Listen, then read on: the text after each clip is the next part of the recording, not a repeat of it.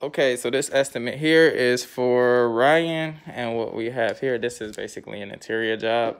So pretty much I'm in a family room now. The goal is to pretty much get this up and level to the best of our ability.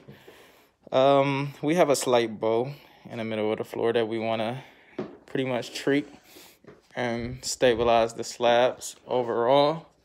Uh, vents and everything of that nature are up high, so that shouldn't be an issue.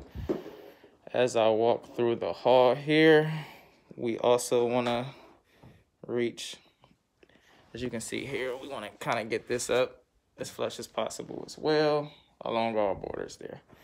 And stabilize the hall here. And also we have an additional room here that I can't go in due to the dog. Same scenario as the family room. All in, the total for the job will be 3600 and that does include a 10% discount. No other services were included. Thank you for choosing Mr. Level.